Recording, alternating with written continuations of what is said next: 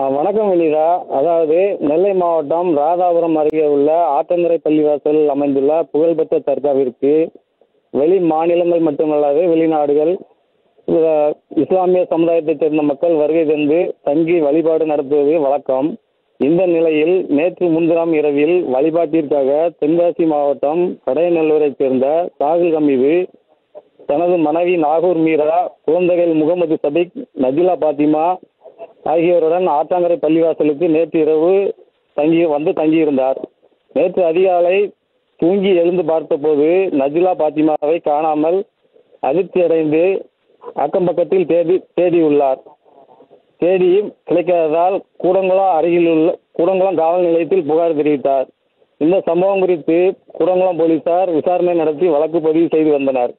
தொடர்ந்து அப்பகுதியில் அமைந்துள்ள சிசிடிவி காட்சிகளை பதிவு செய்த காட்சிகளை கொண்டு விசாரணை நடத்தி வந்தனர்.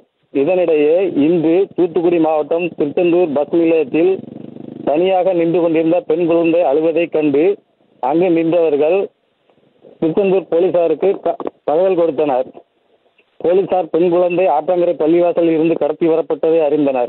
இந்த நிலையில் குழந்தையின் காதில் கிடந்த கம்மல் மாயமானதால் நகைக்காக குழந்தை கடத்தப்பட்டதா என்பது விசாரணையில் தெரிய வந்தது. இதைத் தொடர்ந்து கூடங்குளம் போலீசிற்கு தகவல் அளித்து பெற்றோர்கள் கூடங்குளம் காவல் நிலையத்தில் வந்துள்ளனர். இப்போ இது இந்த நிகழ்ச்சியில் வந்து கூடங்குளம் போலீசார் அக்குழந்தையை மீட்டு கூடங்குளம் காவல் நிலையத்திற்கு கொண்டு வந்து கொண்டிருக்கின்றனர். விஜய் பிராங்க்லின் தற்போது குழந்தையை கடத்தியவர்கள் பற்றிய விவரங்கள் ஏதேனும் தெரிய வந்திருக்கிறதா? அதாவது நேற்று வந்து சிசிடிவி காட்சிகள் காவல்துறை தரப்பில் வெளியிடப்பட்டிருந்தது.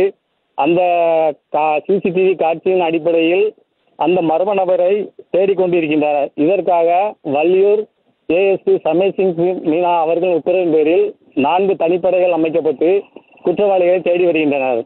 வினோத்.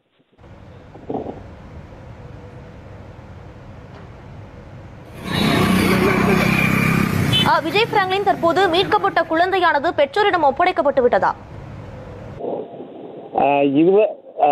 இதுவரை கூடங்குளம் காவல் நிலையத்திற்கு அந்த குழந்தை கொண்டு வரப்படவில்லை.